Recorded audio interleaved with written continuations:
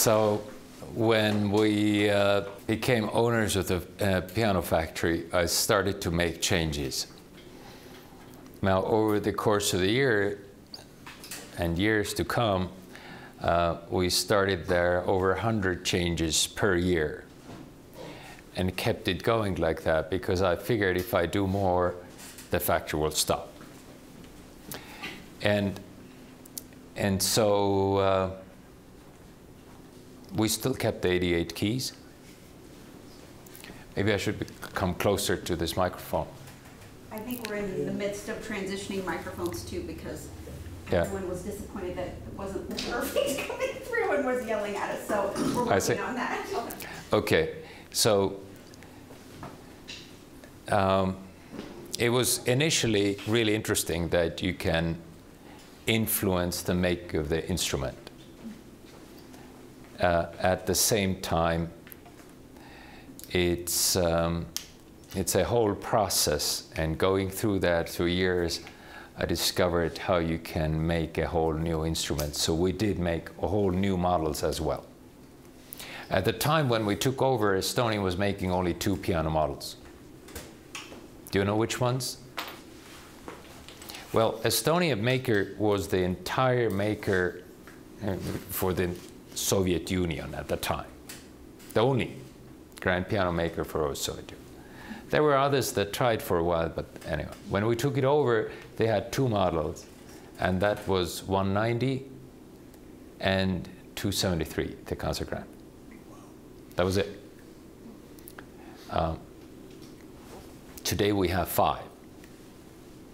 We have 168, which is a five foot six, 190, which is a six three, and 210, six foot 10, uh, 225, which is six foot four, and the concert grand 274. Yeah. Yes, please. Do you cast your own plates? The plates are cast in Finland by a special company who does it for us. It comes to us and we do all the finishing on the plates. Yeah. There was a company who went bankrupt who made for us, and there was another company who also went bankrupt. And they were in Czech Republic in the past. And then there was a maker in Germany whose quality we didn't like. Uh, and then we moved to Finland. Uh, Finns are very particular and very reliable. Uh, and so uh, it's, it's a cooperation to make a good plate. They have to know how it dries, how you apply it, etc., etc. So you make many, many tries and you give feedback. And to get a good plate, it's a difficult task. And I think we have got it right for now. We are happy with what's coming. And if we're not, we ship back some, which happens very rarely. Yeah. So that's the plate. But the plate design, even the 190 that we made earlier, we had to redo the whole design. So when, when you look at the pianos in the 90s and early there, 2000, then it was a different plate design than we have today. Yeah. Uh, I probably have to a little bit rush so that I don't go into too much details. Otherwise, I would just talk about some one topic only, and I'll, I'll try to cover so it's interesting for you and you get the fuller picture of what it's all about. Although we make five models, we only make 120 pianos per year. 120 per year. That's all. Do we have any plans to increase? No. Do we want to increase? No. Mm, well, but we don't want to decrease either. Uh, we have about, altogether, everybody contributing, about 40 people. So we try to have good time in many ways. We try to really take care of our um, our masters there at the factory. So I look at it as a chamber orchestra where everybody plays their unique instrument. Somebody plays the oboe, somebody violin and cello, and all together you get a beautiful orchestra of the piano. And it's a little different approach. It's not that, hey, now the economy is doing good, so let's hire a bunch of people. Now it's doing badly, so let's fire some people. It, it's not that at all. Yeah?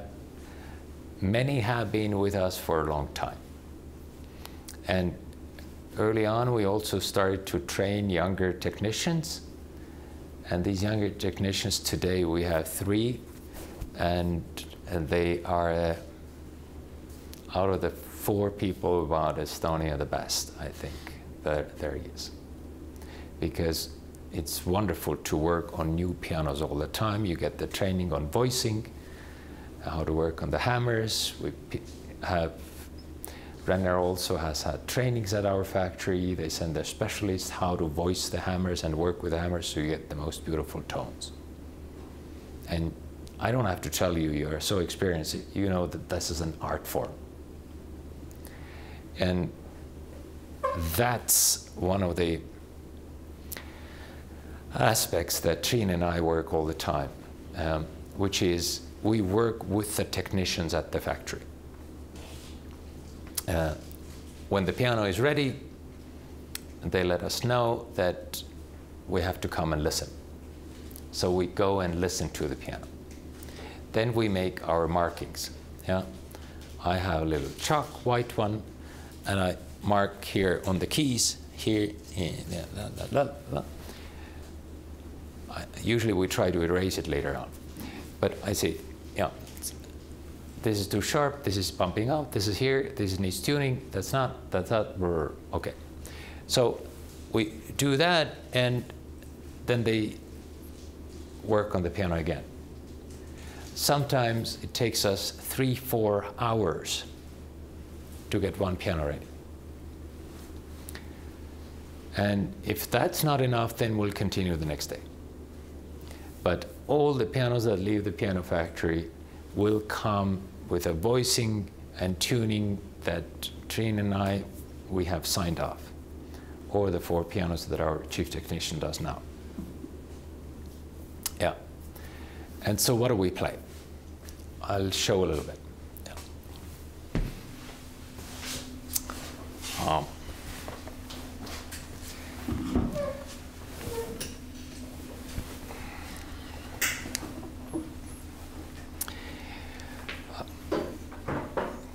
Now, uh, this is Estonia 225, the 7 foot 4. Yeah. So we try to get a feel what's about.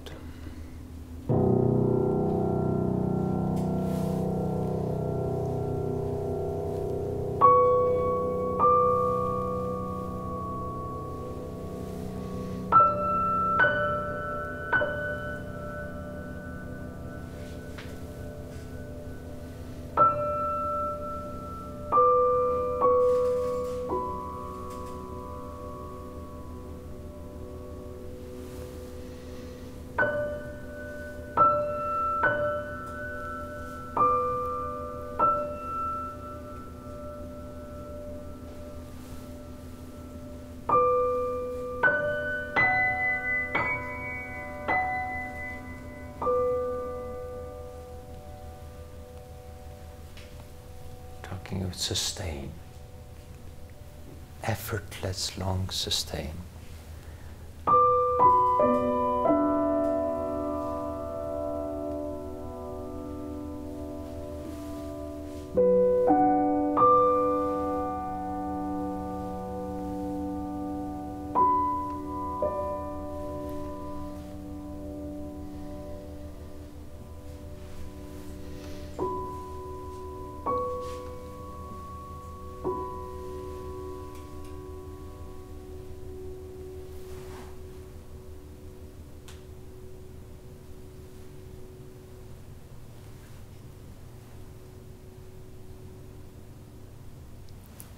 Can make coffee and come back.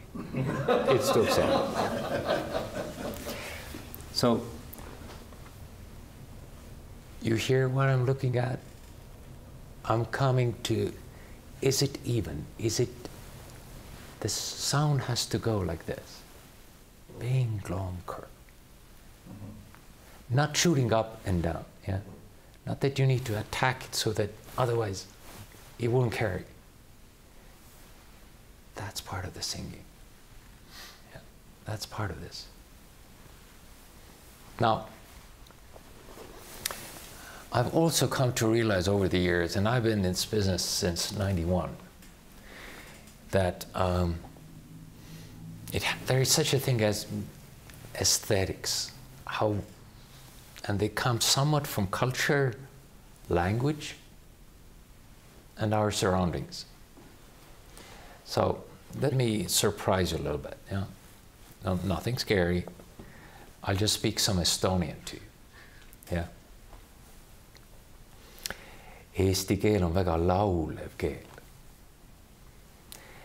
ja kunagi, kui oli keelte võrdlus, siis sai kuulsaks lause, et kõnnin vaikselt üle silla. Now, what did you hear?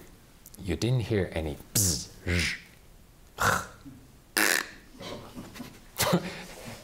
no. Estonian and Italian are two of the most singing languages in Europe. So when you grow up with that, it affects your musical aesthetics. Yes, please. I felt that this piano Yeah. was uh, displayed itself at its best in the piece she played in the Accorda zum Schluss. Yeah. But most piano music, it seems, is not like that. True. So you have an instrument that is like a placid lake, Yeah. but most uh, music is faster and more percussive and does not just use that Mhm. characteristic. And furthermore, it seems to be most pianists are out to display their own prowess, Yes. not so much the music itself. True. So it seems to me that what you're describing Yeah. is more often than not not utilized in the music. True. And the music is suffering because of that. And so is the piano. And the end also the listener. And and so I can play some more challenging to the instrument as well. Yeah. But I'd like to show to you that when we are looking for we want to have this it has evenness. Yeah. Not something sticking out. And I don't want this kind of. No, that's not part of the Estonian. You heard that laulma is singing. Yeah. Singing is laulma. Even the word Estonia, divided up, tone is still a tone. It comes from Greek word tone. Est in Latin is there is. So Estonia, there is sound, is even in the Estonia itself. But whoever came up with the name didn't think it's going to end up on the piano. I think it's just a coincidence. Yeah. But then again, uh, what I like about these models, we call them the pianist models. The 7-4 and another one is the 610. Um, the balance of bass strings and upper strings is, is better than the concert grand. Just and because the grand, you always have to watch that you don't overdo it. Yeah. But but but this one is. Um,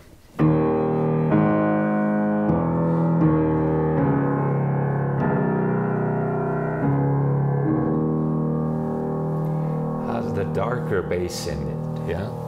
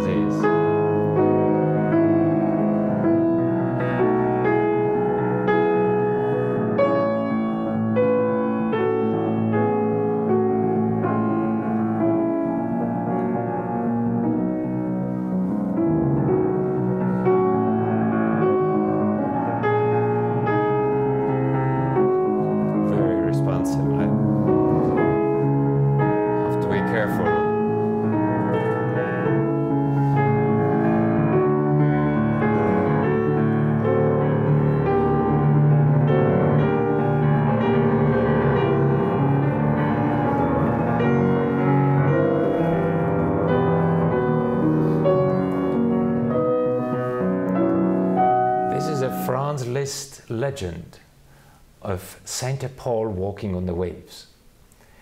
And it keeps going and going where you hear this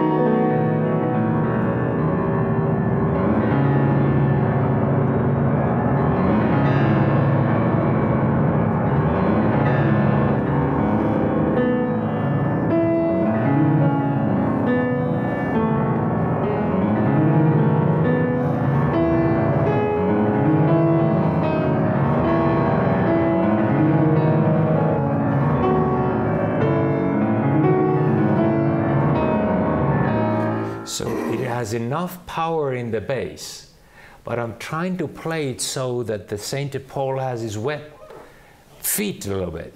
So he's not above somewhere on the waves. There are beautiful paintings of it, by the way, of this legend. But you, you get that he's in the water. You, you, you get the muddiness of this. Uh,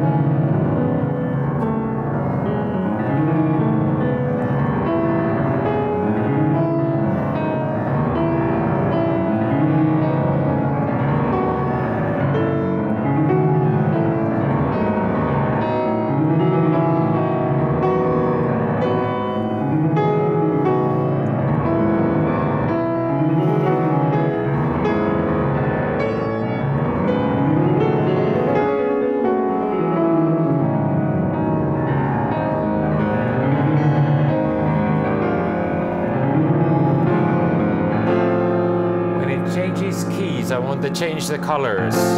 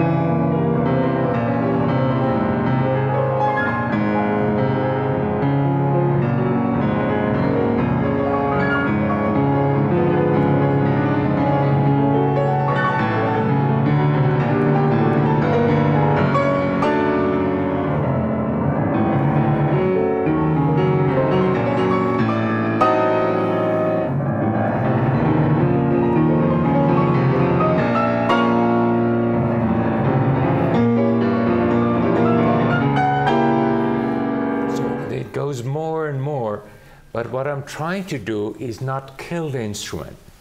That I use my back muscles and my body and always sink through this so we don't have this, what you mentioned, this attacking sound. Yeah? Tone like that can come only with a superb soundboard and superb hammers. Talk to us about the wood selection and construction of the soundboard and the wool and construction of the hammers. Beautiful, beautiful. This, the, the, the soundboard material affects a lot. And so we have the Estonia soundboards now are from Swiss Alps, high up in the mountains. It's a resonant spruce. Hello. And that spruce grows very slowly. That's why high in the mountains, it has to grow very slowly. So it grows slowly, it has a lot of growth rings per inch. So when you come to these soundboards, you see that they are very white and very tight grain. Now that's the highest quality soundboard that we can find in Europe where we're. Well, some call it from the side of Italy and want to make it into what was it Stradivarius walks there and say, well, maybe he was also walking in the Swiss side, who knows? but anyway, it comes from there. That's the spruce we're talking about. Yeah. And only 5%, 70, 80 years old trees are taken down, only 5% are used. And the other makers, my compliment to them is also Bösendorfer's, and I've been told Steingräber und Söhne. So we share that quality. Now, if you get this wood and, and it's glued together, it has to be cut at a certain time, and we order it at a certain time so that it's right. Now, when it comes to Estonia, we stack them downstairs in the dark and let them be there for a while. So the, uh, we have three soundboard masters, and all they do, and they do that for a long time, um, is, is make soundboards.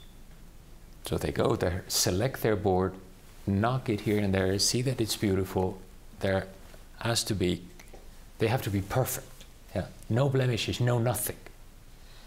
And we don't downgrade when it gets to different sizes. We don't have a five foot six something less than the seven foot four. Because we, again, we only make 120 pianos, so it wouldn't make a difference. So the soundboard now, once it's selected, once it's done, all these guys do seriously is only the soundboards. They don't do anything else at the factory.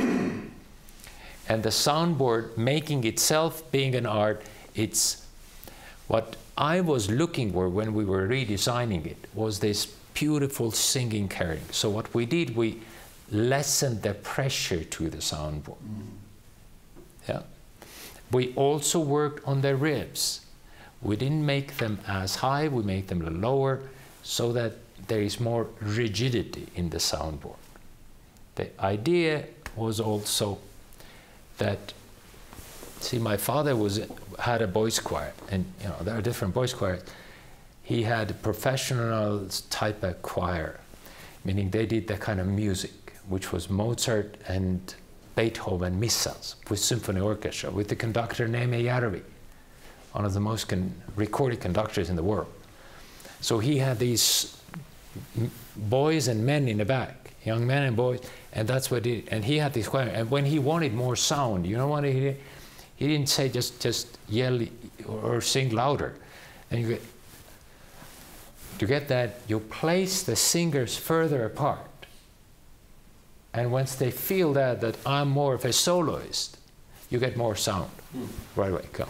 So you, you, in a way, you let it more loose. Yeah you let the soundboard more free to vibrate rather than I want more.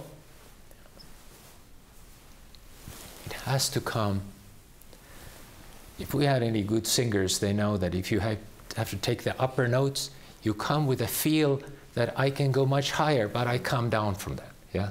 So it comes on that kind of feeling.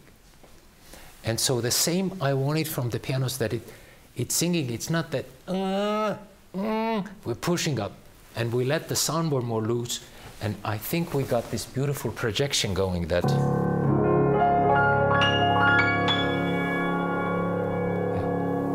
That's it's effortless. I think it, you, if there were more keys to go, we could go further. That kind of feel, yeah? So, but one thing we did change, and that's a big thing for us, which is when we de uh, were developing the Model 210, it changed all the soundboard design that we did thereafter. And we changed that, it, we discovered that in 1850s pianos had non-diaphragmatic soundboards. See, diaphragmatic means that it's thicker in the middle uh, and then thinner as it goes. But when you do analysis it, with using modern computer technology, you, you can an analyze how a soundboard vibrates. Then you probably know it. It's not a mattress. It's not going like this from the middle. Yeah? Different pockets resonate. not here, little there, little there, little there. It's, it, it, this way, yeah? So we tried not to make it thinner there because it's unfair in a way. And we got a lot more sound out of it. Now that was an amazing discovery. I could spend more time on this, but, but there is a beautiful story also. Larry Ellison, who is one of the richest American billionaires, the uh, third or whatever he's on.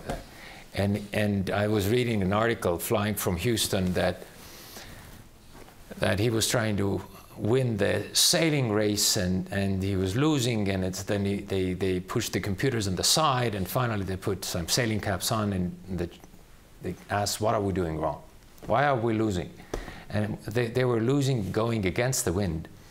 They, they tried to go in a too sharp of an angle. And but they, they changed the angle and they went longer roads. And and they, the boat started to go faster and he won the race. And then the computer guys came and said, well, we discovered the mistake there was. Well, so in the past, in the 50s, what they did to figure out how soundboard works very well, you probably know it, yeah? They put sand on the soundboard. And based on sand, you can see how it vibrates. Yeah. So, so we going non-diaphragmatic soundboard, we, we discovered the whole board has a much more sound, all over has much more going. So why thinner it this way? So we dropped it, we made several instruments, and we saw the amazing result of that. So much so that now it's on all of our models. Mm. And just as Larry Ellison won the whole race and everybody was, uh, they, they, they, he changed the racing for them. Yeah. Just not one, but whatever came thereafter. Then one time my dealer from LA said, Larry Ellison bought your piano and the 210 piano that we were designing and thinking of. Wow, the whole story somehow came together for me. So the thinking is that sometimes to go forward, you have to look backward. And we lo looked at pianos before everybody was going into the diaphragmatic, and we saw that this is pretty well good. And then I heard that Verzi started to do the same. Yeah, go. Anyway, now, if we talked about the soundboard, now comes to these hammers. Um, we use either Renner or Abel hammers. Uh, depending on uh, what we have received and depending on what we also musically find that reflects the best of the instrument. No particular criticism to Renner, no particular to Abel. We just use musically what works for the best.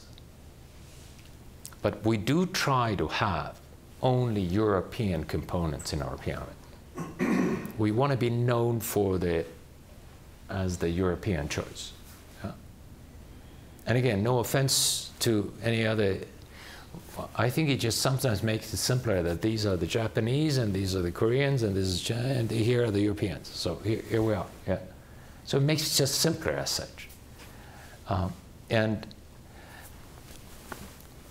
so now that we have either Abel or Renner hammers, um, we have used here are as you can see they are the Renner blues, um, and we have we have used that for a long time. Uh, and again, lately we have more also Abels. Now, we work quite a bit to get the right voicing. Uh, uh, because it's, it, their shipments vary, their quality can change from here and there. I've asked Renner what's the reason, and when Dr. Siegfried Hoffmann was running the company, he said, well, maybe the sheep didn't get enough food or got different food. So therefore, sometimes it's weaker and sometimes better. So depends. He says it's natural felt, so it's not as so maybe. Uh, but at the same time, whatever we get, we try to have the best result. Now, um, the Renner representative who came to our factory and showed what they recommended, he worked on one hammer four hours. Well, since we have 88 to go there and more so, then we, we cannot quite go that far. Yeah. But we certainly got the point of building up the tension to the top, and you don't needle the very, very tip when it touches the string, but you build the tension there, and it goes like a flower that once it touches the string, it beautifully the sound opens up. Yeah. Now, it um, is also connected from the soundboard, let's say, to the hammers. Uh, is is the keyboard and all that. Yeah. Here you have one that is out. You can see on the side here, it's Kluge Klaviaturen. So it's Kluge Klaviaturen stamp on the side. We also use Hamburg Steinway keyboards. Uh, they make these for us, and we have them as alternative to our own keyboard makers. We also have our own masters, very serious masters. One particularly who's in charge of that, his name is Arne Bussa.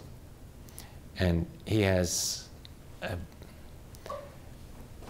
that's his master. He also signs every keyboard.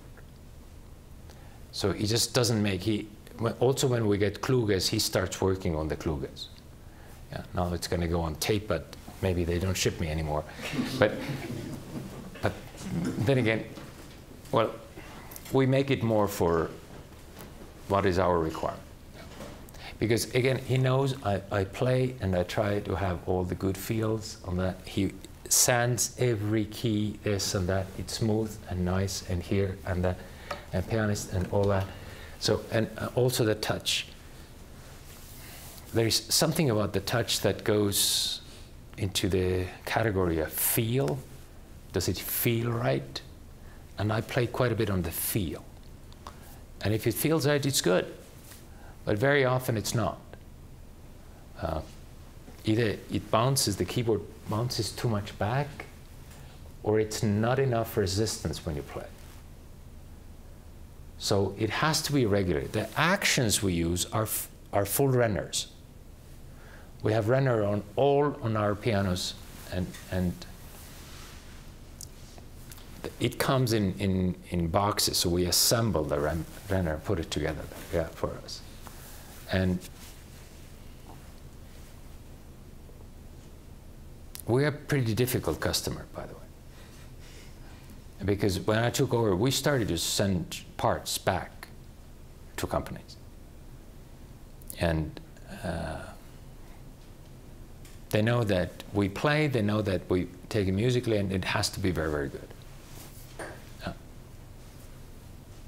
I don't go the criteria that this is made, I don't know, made in Germany, and that's why it's absolute best. I just go whether it sounds right. It has to, the final feel and touch and all of this has to be absolute what we love to do. So regulation of these Renners is what, what I would call standard. Yeah? Nothing crazy about it. Just, just regular, normal, as is. Uh, the black keys, they used to be plastic, gone. Not the black keys, but simply the plastic is gone from that. And uh, we use now only wooden black keys on all our models. Yeah, and um, since it's uh, black ebony wood, we have to a little bit match it to, so it's uh, tonally uh, it is fine, but the tone of the wood also can vary a little. Um, when we make our own keyboards, uh, the material comes from Kluge. Uh, and it's ivorish, it's not ivory. Um, so,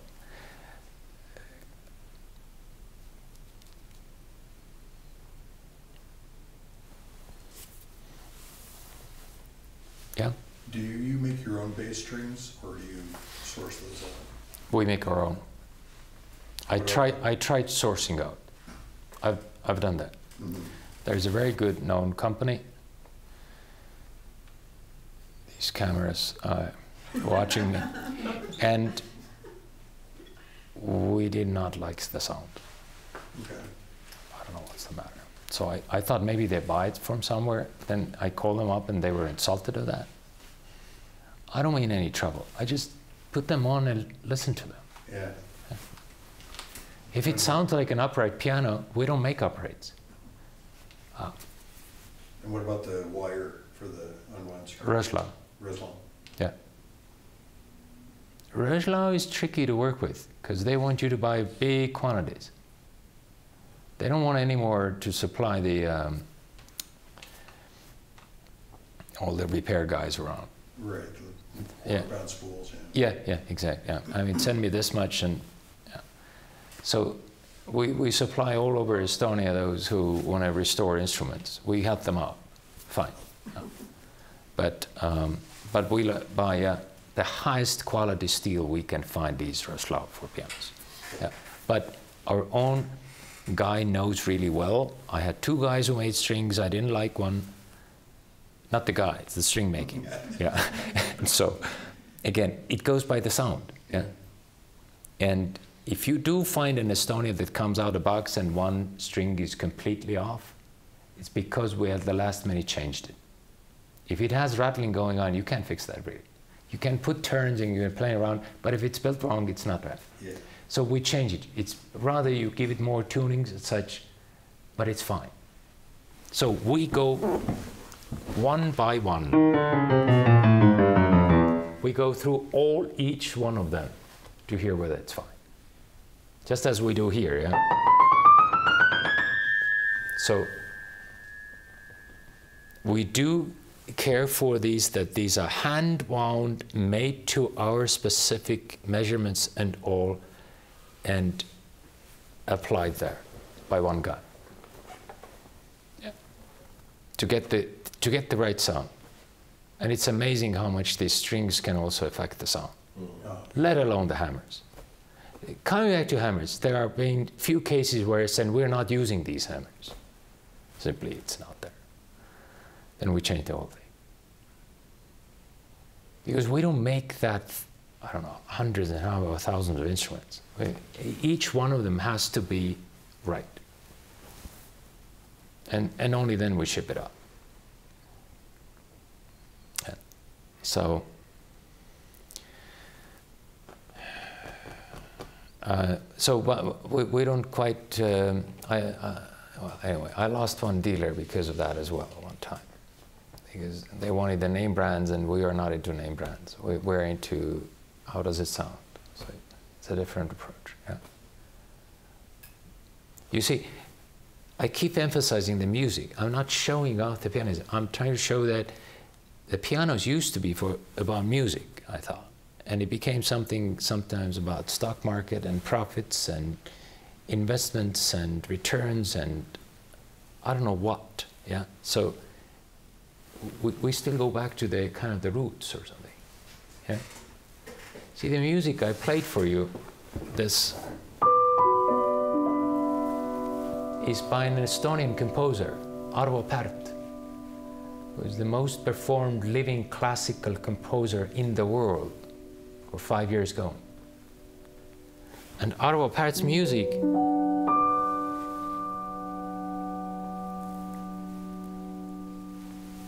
in a way went back. It's in a key. Yeah? It's not something of a Schoenberg or Webern. It is yeah. or his other piece.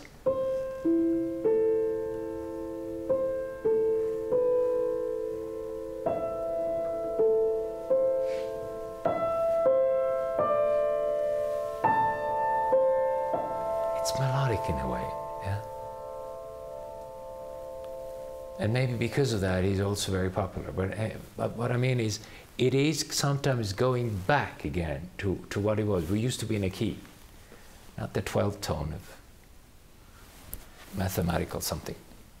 So So therefore, coming from this, this musical aspect,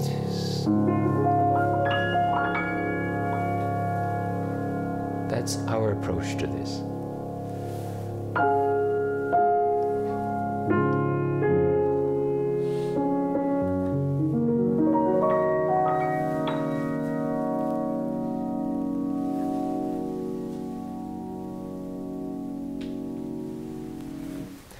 So uh, this is um,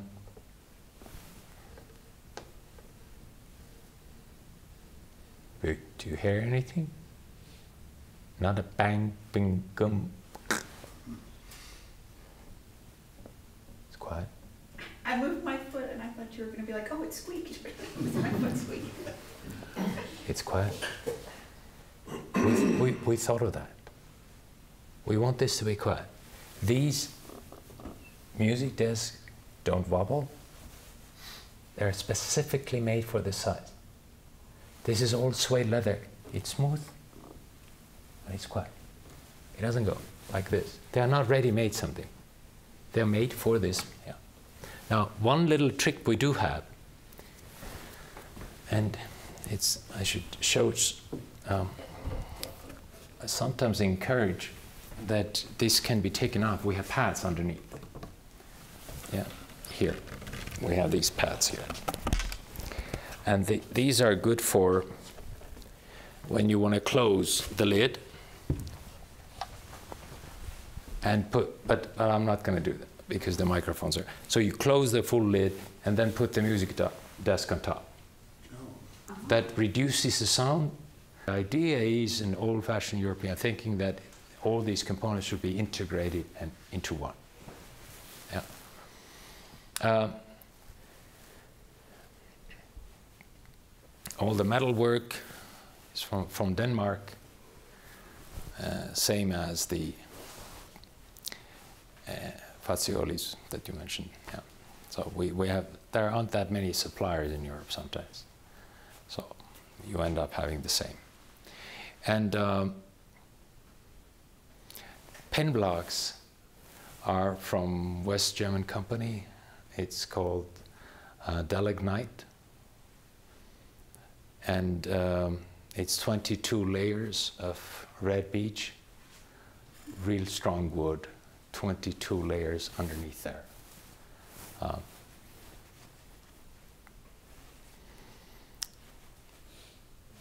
would you have any questions? Yes? Where is the factory located? What, what city? Um, the factory is in Tallinn, capital of Estonia. T A L L I N N. Tallinn. Okay. Yes? Is it possible to say German pianos have this kind of sound and Estonia pianos have that kind of sound? Is there enough of a difference in general to be able to, I mean, we know what we're, what we're saying when we say, oh, a Japanese piano sound or a Korean piano sound. Mhm. And the German piano sound is probably warmer uh, than a J- typical Japanese piano sound, but can you, can you compare and contrast your pianos with German pianos, or is that not possible? It is possible, especially since we use very similar components, but our aim is for the singing quality. That's where we differ. Are you, I'm not just looking into engineering it right. Mm-hmm. I want this to sing right. That's where we very much come in. Yeah? Also, um, see, I, I- I want the basis bass to have that like bigger sound a bit. I, I don't want to stay just only this chamber music. That it's it's kind of Brahmsian night, Brahms music that it's really nice and it's all chamber, but you don't really get that what I played in Franz Liszt, yeah. That that um, well.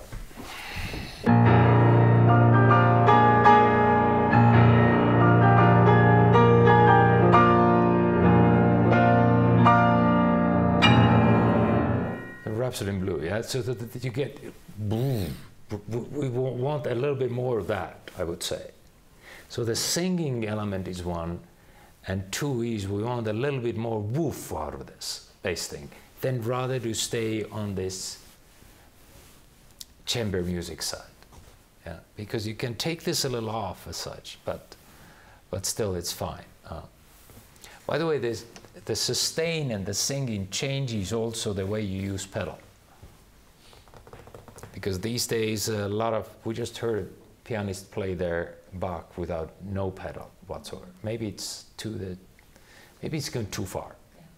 But, but, but Mozart and, and thereafter Chopin should not be swimming in the pedal.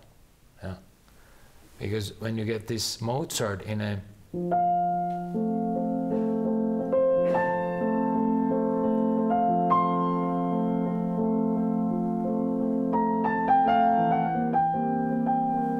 so beautiful music that you can get away with that. But it's a little bit like what I would call a beautiful coffee commercial. Yeah? Buy the Paulig, it smells so good. And, if you have a good sustain on the piano, you can do more of a Mozart tune.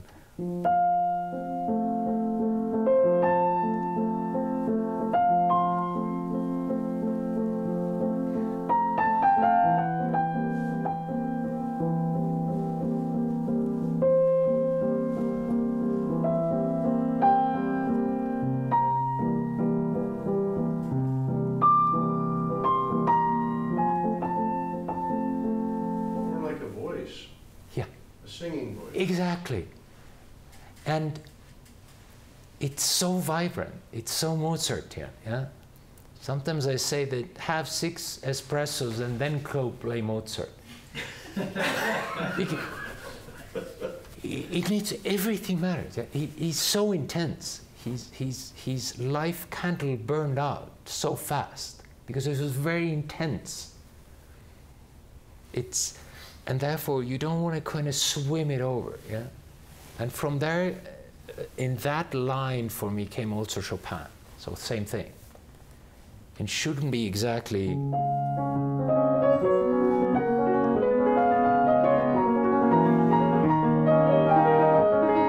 can't hear understand where is what yeah? But you play more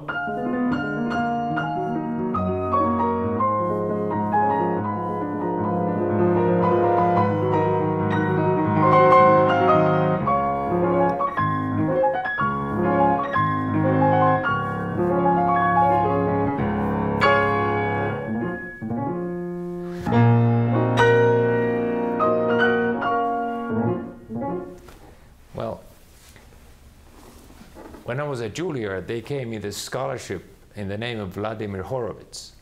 So I have to sometimes show why I received that scholarship. because, you know, he had the fingers going really, yeah. And he had a very sensitive ear.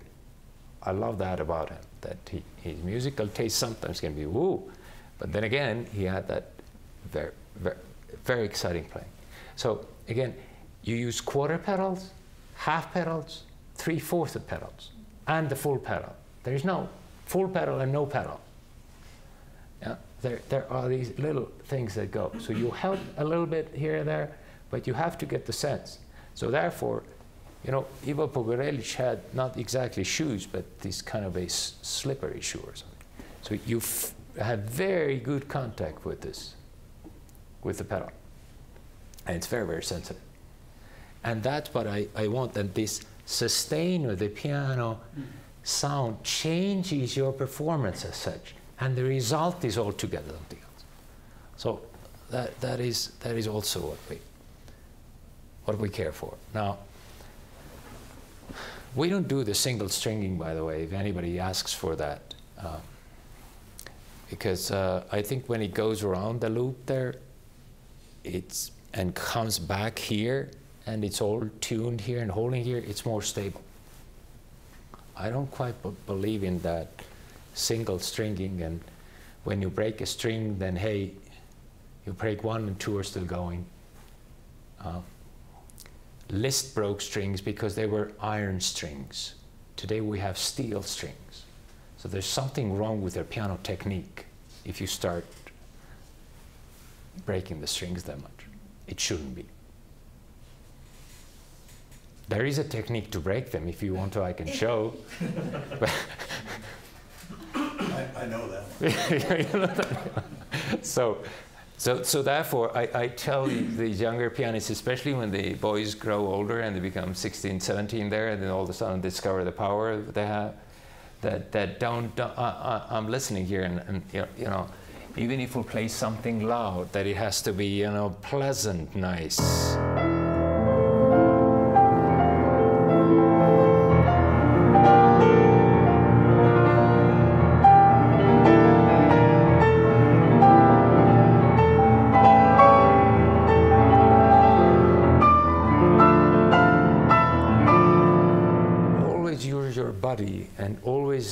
Through the keys like this yeah?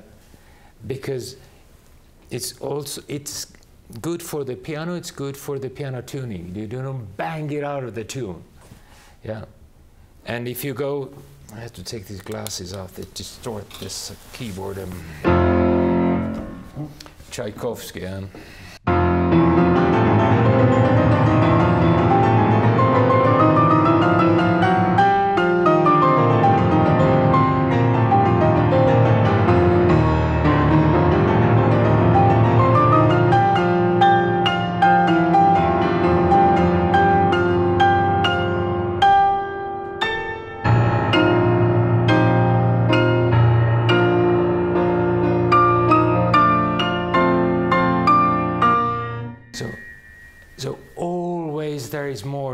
And more power to go, yeah?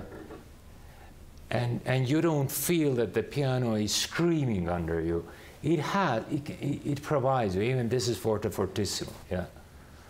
So again, you kind of sink through these keys. And I don't think you bang the piano that easily out of tune either when you play this way. Yeah. So, this Tchaikovsky I played many times with orchestras.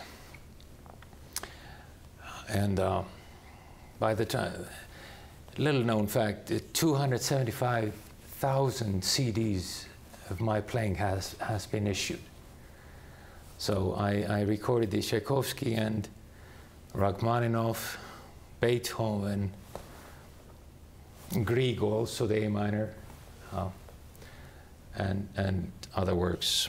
So, but um, so so so when you when you play this right, then um, the piano can handle quite a bit. But it's also a certain technique that the teacher should teach the kids how to play the right. Yeah. And sometimes I tell them to take the piano out, take the, well, not on their own, but get a technician and show you that if they have struck the key and the hammer is released, students should see it. So that they have to free their hand. That they don't have to get here, you know, crampy and all that. Because then the sound is not good and it's not good for the piano, etc. And why to press it? Because the hammer is already fall back. I know that as technicians you know that, but very often younger pianists don't see it. Yeah? And for them, the only thing is is piano in tune, and that's all. They, sh they should actually get that reflection and the extension of the arm and action, and the sound and the keyboard. It's all connected, interconnected as such. Yeah. Now, if you ever travel to Estonia, we are on Kungla Street 41. Uh, just press the CEO button there, and it rings on our phone. It's a modern technology. So whenever we are, wherever we are, the CEO responds.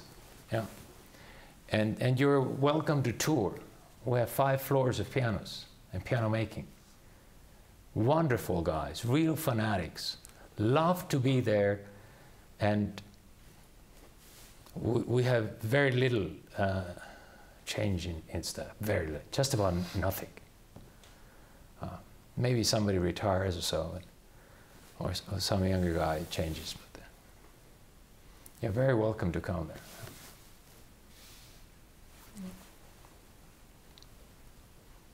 Um, black polyester, uh, many layers, thick as is. Um, all of this is thought out as such. This is there is suede leather underneath that it's smooth and quad. And this is the small one because it has to be metal, otherwise it would be not enough support. This is all leather inside here. I've discovered we're probably the only ones. So it's it's quiet. You put there nicely, this nicely. Here it's all designed fine. I don't want too much. This it, it looks like you, you think it's just kind of falling. It's we, we have thought about this yeah, and designed it this way. So when you turn the piano upside down, when, when you're looking at it, it's all transparent there. It's these support beams underneath. They're all transparent and we, we lacquers them so that you can see the high quality wood being used. It's not painted black. Older Estonians used to be this way. No. Now it's all transparent like this. When it comes to, to your customer on the side, to their home, they can see the quality there. It's beautiful. So it's fine. It makes it more, the making more complicated and expensive. But it's, it's quality.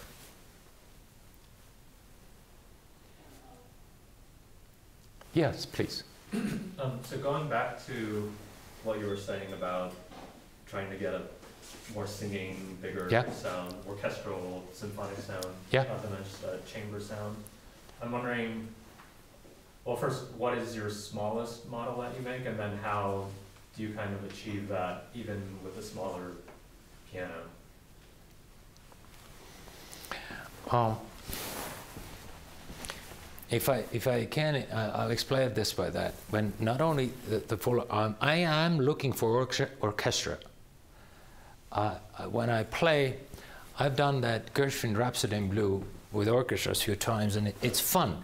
But but you.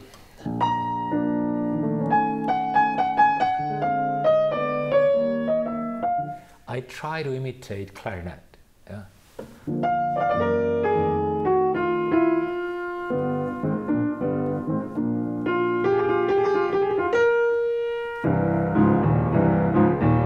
That you get these in different instruments. Yeah, it's fun actually.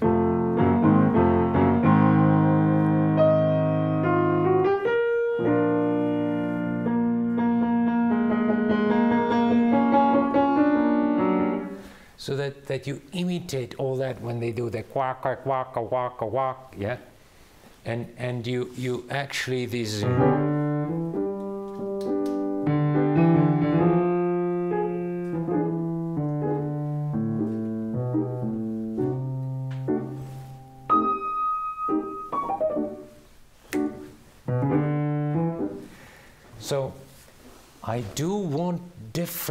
Instruments out of that piano. Yeah. Like orchestrating all the time. Yeah. A little bit even improvising on stage. It gets you going, it's pretty cool. Yeah. Uh, on smaller pianos, the five foot six gets such good reviews. so sometimes we're troubled that it has a design that almost goes straight in a while in the back. It has a, to compensate the shortness, it's made very wide. And when you look at it, and the design is almost straight there, then it has this kind of chubby look to it. Maybe that's why I like pugs. we have one at home. They have this chubbiness to this, yeah, very kind of homey feel, but it has a larger body and and that compensates it. It's not something like like this. And if it doesn't sound like good grand piano, we, we are after a, a that, the size should not interfere. So the five sixes are selling and, and doing very well. Uh, I don't want to praise ourselves too much, but ju- just simply that is that's part of that des- design, the large body sign. Yeah, yeah. The- Does the harp go almost to the end of the body then, and the hitch pins go way far back on the five, six? Or how do you do the scaling on that? Um, the scaling goes close, but not too far there. Okay, Yeah. but uh, all, also at play into it are the bass strings. I think it's a successful design as such. Um, one thing I liked about this Arvo Pärt that he went to a priest one time and said, "Don't say I'm great." So the self-praising doesn't go, but but you, I, I, at the same time, I do see that it works. It's fine. Yeah. And when it's there and all this design and et cetera, et cetera, and we kept working on it. When we were initially designing it, the, the, we were only five foot four, but it turned five six. It wasn't right, the five four. The design wasn't there. We had to uh, get a different measurement. Yeah, the keyboard action and all that, that wasn't, that wasn't. So that was back in 96, 97, 98. There. And after a while, we changed that, and then the 210 came, and when the 210 thereafter, we years later we tried the non-tapered soundboard on that. That all played into it. Yeah, yeah.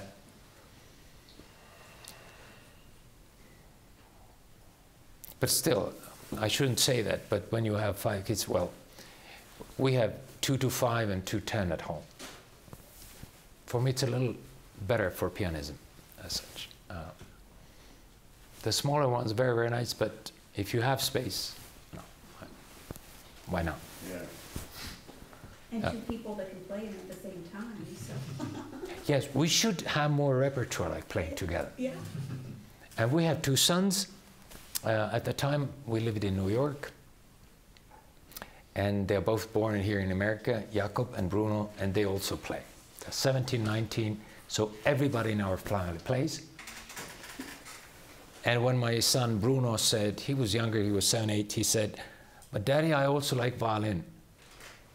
I said, We don't make violins, we make pianos. And I'm not going to make another factory. so there we go. Yeah. But uh, one thing I also want you to feel a little bit something else. Um, Estonia is a 1.3 million nation altogether. Yeah? Have you heard of any war Estonia has started? All of them.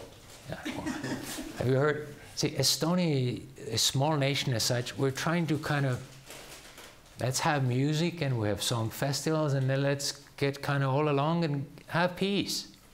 I mean, let's have some good music. Have we ever come done anything for America? We are one of America's strongest allies there. Uh, America knows that.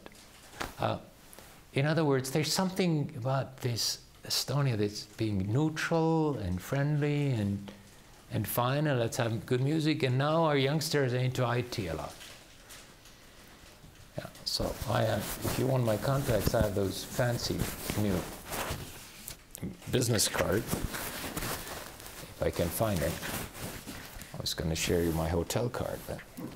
So in, in, in other words, it, it has this uh, electronic element. Oh, here it comes. Oh, this one. Yeah, see. Triin says it's a bond card. Yeah.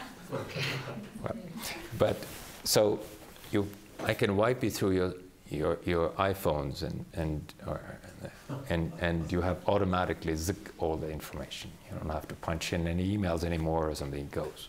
Yeah. And Estonia is very much into it. Huh? So initially Skype was invented there, and thereafter all the engineers went to this. And Estonia today is second in the world of most IT new startup in the world, and after Israel. After Israel, so I said, how interesting. Yeah, and uh, and in a way, I have to say, uh, we right now at factory we're very busy. I'm making the factory into what it never was. I'm making upgrades to the level that it was never built this way. Uh, it was. We reduced electricity use September 2021 to 2023 in two years, seven eight percent. But, but we are very heavily, uh, it's not even renovating, it's bringing the factory to a whole new level, like a whole new lacquer chamber. Most modern systems that are so incredibly efficient. And um, all the radiators, doors, windows, painting walls, ceilings, floors, machineries. This all new electric lines throughout the entire factory, all five floors.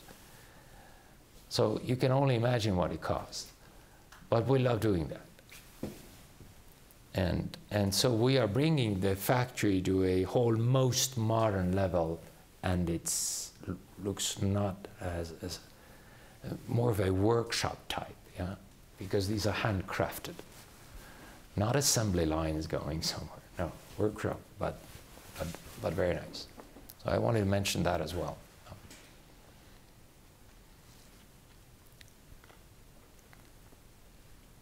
Do you see the integration of all of the tech around you changing how you engineer your pianos?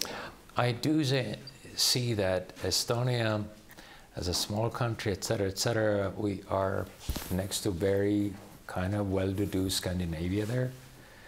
Um, we the high-end hand craftsmanship is coming back to Europe. It's the green thinking part of that. If people don't like the word green thinking, it's it's the modern, efficient way of, of coming back, yeah.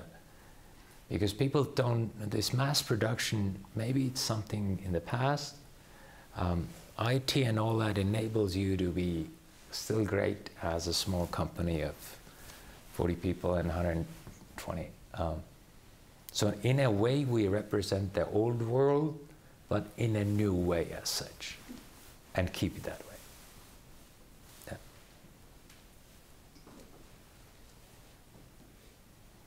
Yeah. And we are very thankful to all of you if you can spread the good info that you got here. Yeah. Again, Estonia is not taking over the world. no. But we can probably enrich it a little bit. That's all. Provide a little variety, and you can hear the musical side of the nation. Um, so.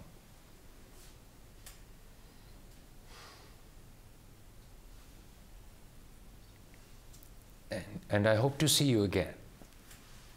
No, I don't want this to be the last visit. I, I think that this is a, a, perhaps more of a start of a good friendship as such. Um, and um, if you need some parts, this and that, please contact Mr. Bob Baker. Anything is needed, we're there. We do want to be um, responsive all our dealers know that um, we do care for customers and technicians. And we're not going to be leaving you out there in the rain somewhere. No. Is America your biggest market, or yes? Okay. Yeah, that's a decision as such. Uh, that was my next question. Yeah, yeah, we wanted to. Uh, that that if you are too far spread around, you're too thin. Mm -hmm. Besides, we only make grands and a lot of European market is upright.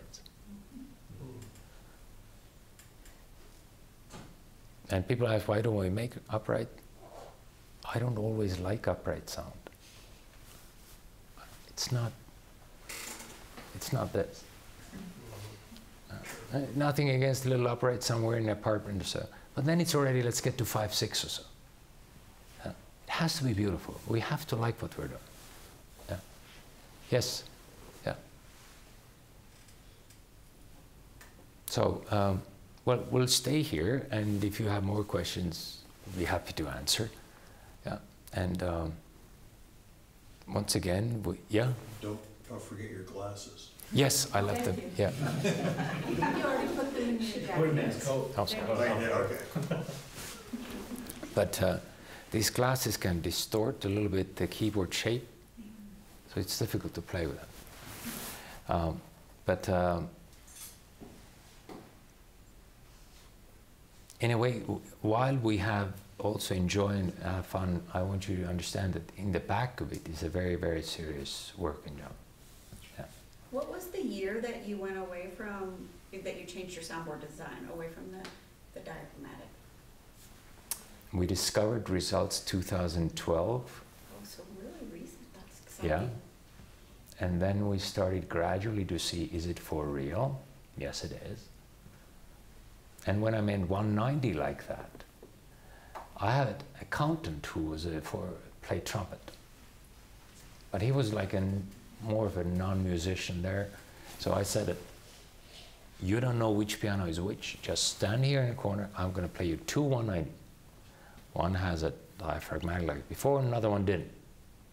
Well, it was obvious to him, just so obvious of a change. So, but not doing was not doing it would not have been fair. And once you discover that, then how do you go backwards?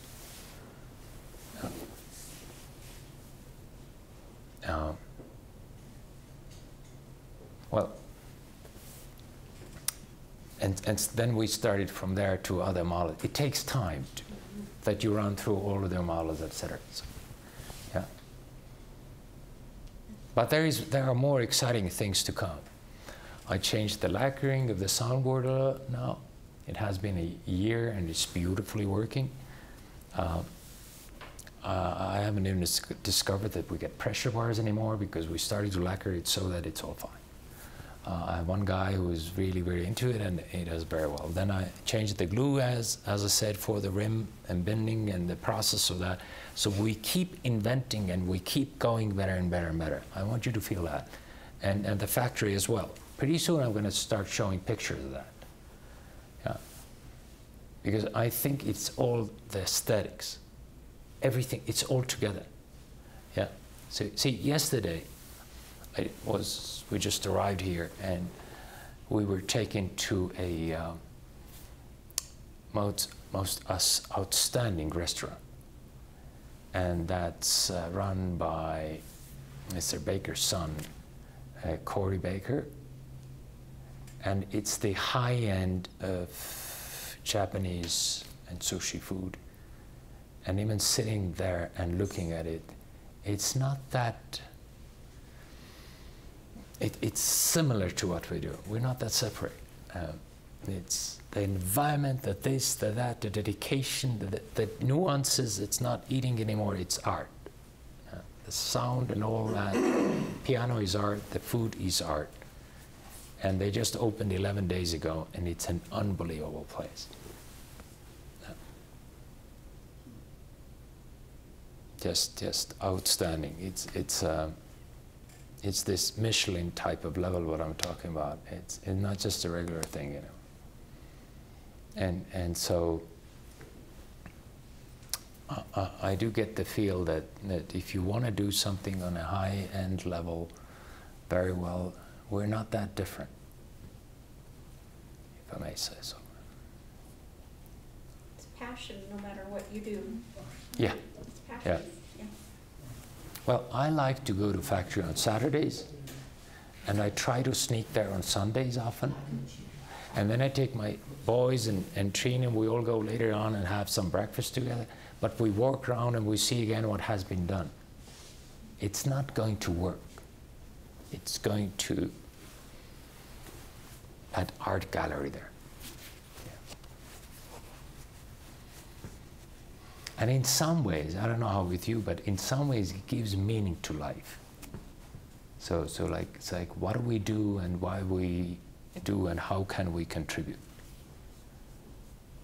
Now, again, don't think that Estonia is threatening here something and, and, and we're going to take over the American market. No, that's, that's not going to happen. But we, we, we aim to provide something that if you do see Estonia, this, that, that we have met, it has been enjoyed, true joy as such, and you, you see how we feel that passion, as you said, beautifully.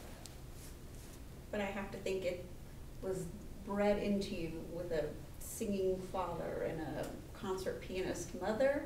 Yeah. That it's like cellular for you to Mhm. have this passion that's not just one generation, but it's your Yeah. your country that you're honoring as well as what your family has done for that country. And Yes, that all exactly. seems to come through Yeah, with yeah. your whole presentation, so that's just Yeah, true. Yeah. And come back next year. We, uh, this year would have been my father's 85th. He passed away, but um, we are commemorating him, and there is a new Laul Estonia coming up, so we want to surprise you all and go from there, and etc. Yeah. And it's also about celebrating the, the families and the family love of each other, etc. Yeah. Yeah, please. It seems to me that there's a difference between piano construction techniques and pianistic sound as a professional pianist. Now, how do you integrate the two so that you know, as a pianist, what it requires to change that piano action? if the aim is there to have the right piano touch or sound, if that's the aim, if we play and so, then we go backward from how we're going to achieve that. So not the other way that, hey, we're going to do it, what do you think of that? But the other way, that's what we need now. So how do, how do we get there? And we, so we think backwards from the goal we had. I, I, you know, when, when I just recently saw this uh, documentary about Blackberries and iPhone, then, then Steve Jobs had developed that iPhone, so he didn't want to have that keyboard there on, as, as on BlackBerry separate, but so the aim was there to integrate it all, and then you go backwards and think, how are we going to do this? I understand it this way, that you put the goal there and work backwards from there. Not that here we are Let's see what happens.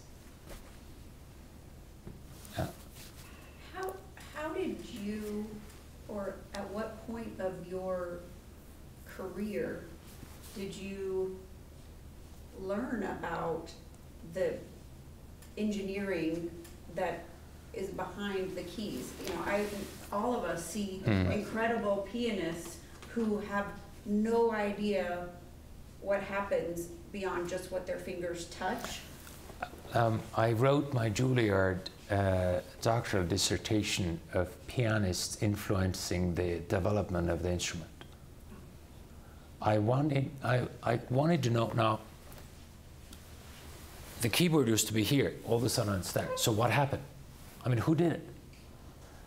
And, and turns out that the pianist, just an, as an example, yeah, pianist Dussek wanted to show off and Dussek wrote to Broadwood, a great piano maker in England, that I want you to add more keys.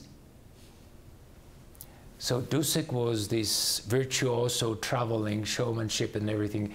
And Broadwood said, well, okay, let's try. So he added more keys. Then Broadwood wrote a letter to Beethoven that, see, I have this crazy Dussek here who wanted more keys. So here is a piano, what do you think? And Beethoven wrote the Hammerklavier Sonata. On the first page, he starts here and goes to the top and says, This is the new era. So there are cases where pianists doing this or that are developing the the instruments by from the music side, not the other way around. Engineers don't come and say, "Hey, why don't we just keep going?" Yeah. Uh, it's the pianist saying that that I want this or I want more sound. Bach worked with, with uh, Cristofori etc. He knew Bach had, wrote notes that were not available at his time, mm-hmm. knowing that as a genius that the development will come when this will be played. Yeah. So I looked into this. I wanted to know how pianists have developed and influenced the instrument and had an impact from that. Or did they just stand on the side and this is the piano and you're going to play it, that's it. Um, when Herz Erard piano action came, that was also pianistic change. After that, they could play these etudes and write the etudes because the hammer was released and it can struck again. So it again, it changed the mechanism of that. From there came the pianism changed. It changed also the music we had thereafter. So it goes in a way hand in hand. But I had specific interest in that. That's fantastic.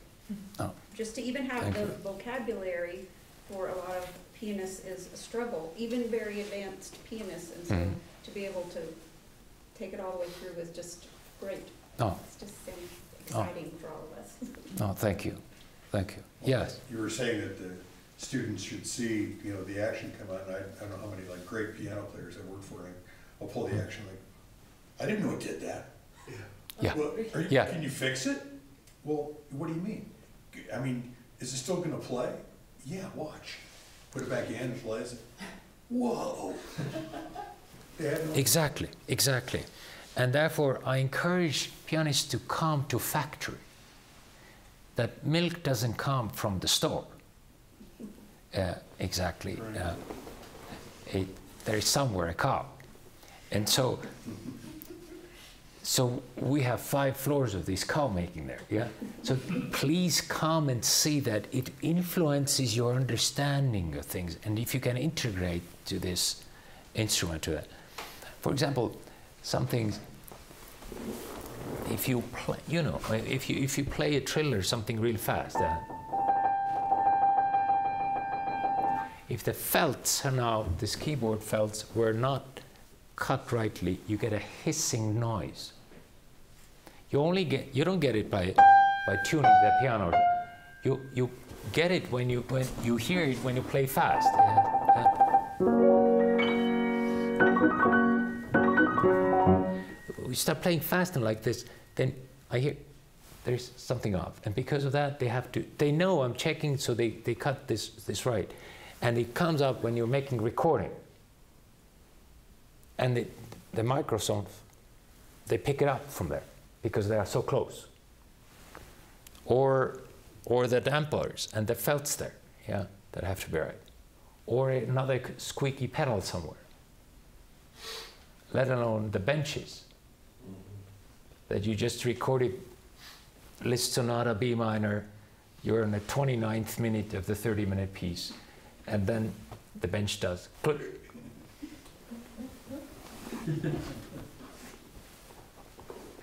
yeah, that's um, so. So there are certain things that I think pianists should come and, and look and check and do and be more integrated and welcomed and understanding and have interest as well. So um, I think it changes their their playing. And their expectations of Yeah. what is the, probably the most expensive thing they have in their home. True. Yeah. Like sometimes, well, musically speaking. So I wonder. I see certain colors in this A flat. Yeah. It's A flat major, nothing.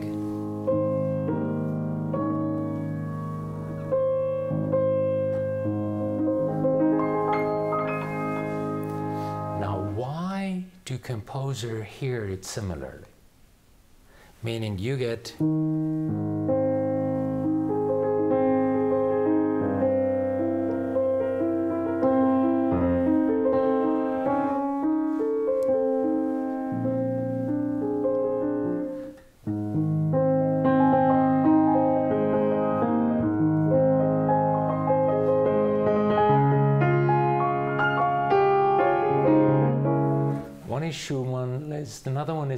and then comes Chopin.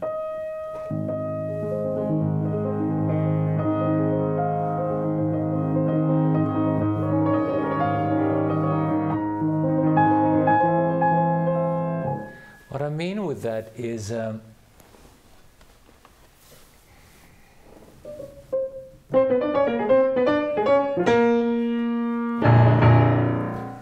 that's Prokofiev. Yeah? they hear certain key similar colors in the same ways. Yeah? You don't get in A flat something going like this.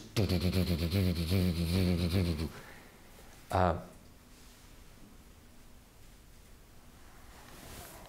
Uh, I mentioned Liszt B minor sonata. Well, that's a massive piece, yeah.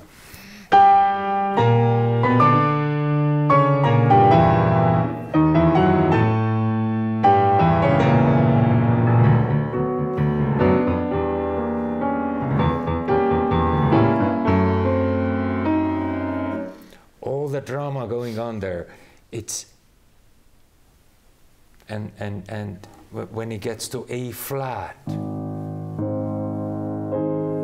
always discovered it. So so what I find it interesting is uh, uh, I can't ask them anymore, but uh, I sometimes wonder what what colors did they see, and because they composed music really similarly in these keys, there must have been some unifying.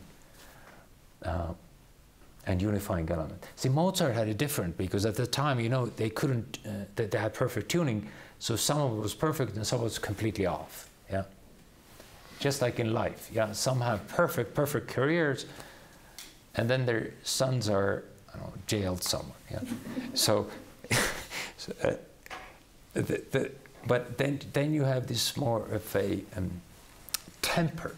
Yeah and, and you get to different keys, but still they had these colorings that I find that they probably you know, felt similarly about these colors, the tones and tonalities. Yes, please. I found the same thing. I've, I've never uh, tuned a historical temperament, nor have I played on the piano with historical temperament. But the music that I play, Yeah. um, the farther you get from C, the more sharps or flats, the more interesting it seems to get. Yeah. And I don't know why, but my Yes. theory is uh, the pitch of the notes and the speed of the beats. Yeah.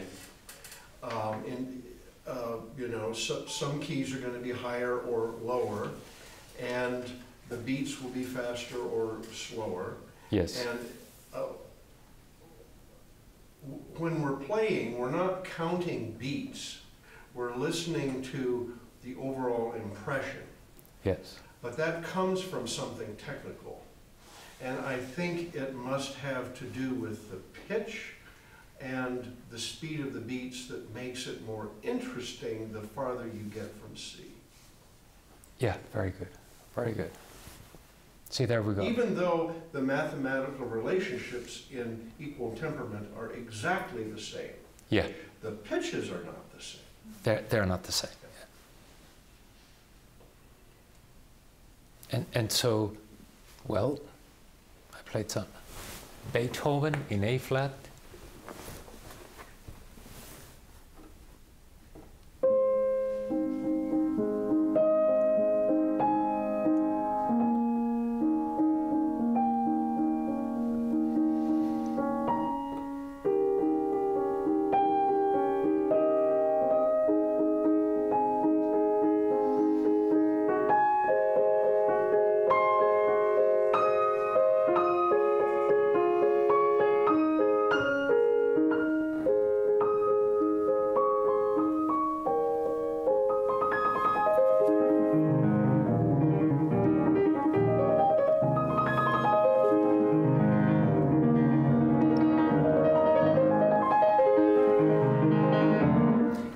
The Beethoven sonata. See, in, again, in that key, this beautiful melody. That's one of the, his last sonatas. Yeah, um, and where, where he quoted Bach and took Bach themes, etc. etc. So that the, it's it's very very interesting to see the composer seeing these. In, in a, th- th- this one note was a little get off uh, tuning. So sorry for that. Yeah. But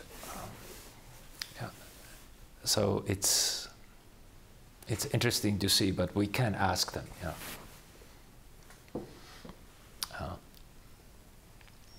but I, I do I do think that they do see very clearly this. Uh, when when Scriabin had the music uh, play, he changed the colors in the in the room at the time, and, and he thought it's very clear. So and. Therefore. And that's what I also look for the piano. It has to have color. Yeah, you, have to have that. Like I can take the colors from like a palette or somewhere, then I can paint with this. Not that I have a blah. Rachmaninoff, you're gonna have some black in there. Yes. Yeah. Yeah. Mhm. Yeah. So, well, I don't want to make it too long, Eva, but I really appreciate your, your all your questions. Wonderful, and and again, this is uh, gathering of friends. Not that we're on one side; we're all together in this beautiful musical boat. And I very much look forward to to seeing you again um, sharing again some thoughts what we have been done. You're very welcome to visit us, and and and thank you for caring for every Estonia instrument you see here and there. And greetings to your customers who own this, and and it's all wonderful. Yeah. Thank you. Thank you very Yeah, much. Yeah. thank you. Thank you, Thank you. Yeah.